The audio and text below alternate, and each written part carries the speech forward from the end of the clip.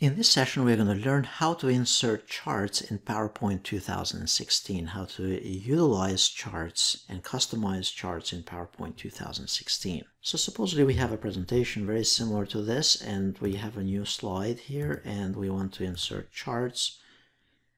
To insert charts, you'd simply go under Insert here. So you'd stay on the slide that you want to insert the chart.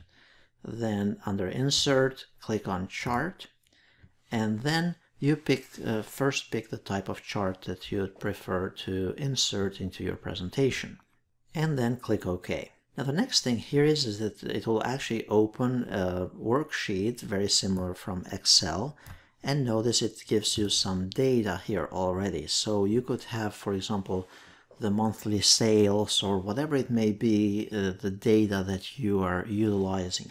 And in our case here, let's assume that these are the quarters. So for example, we have quarter one, quarter two, quarter three sales, and then we have the categories here, tablets, desktops, mobile phones, and such. And these, let's say they are into millions or whatever the case might be. Then you'd basically update this, this data from here. So let's say that was 4.5 million or whatever it may be the case just change those numbers and notice it gives you a preview of what the data is going to look like. Now notice that there is a blue line here in the bottom. This is what controls what shows up on your chart. So you can simply drag this to the left and now notice our chart it's going to look differently automatically here. If we drag it to include let's say desktops as well, then it will readjust automatically. So just keep in mind that this dot here in the bottom right, if you hold the mouse on it, you can adjust the data from there. Now, once you have the data there, now once you have the data entered and customized or picked up here, so we go back, then we close the data here, and now we have our chart. Now, if we click on our chart, notice that we have two tabs here on the top you have the design tab and the formatting tab. The formatting, of course, you can see the options here and the formatting the content of the components here. The next one is to change the uh, design for this chart. Now notice that you have different layouts that you can apply here, like uh, include the title, the legend and such, and the placement of the legend and such in the chart.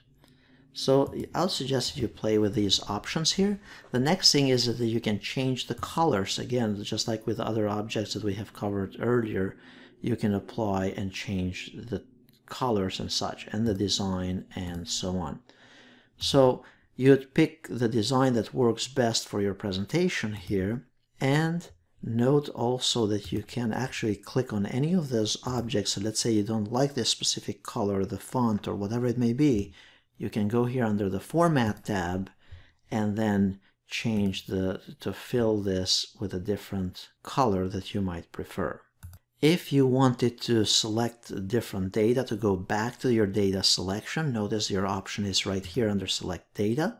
And then if you wanted to change the chart type, you would simply click on Change Chart Type here and then pick something different that might work best for you. Uh, that's how, in a nutshell, how you can utilize charts in PowerPoint 2016.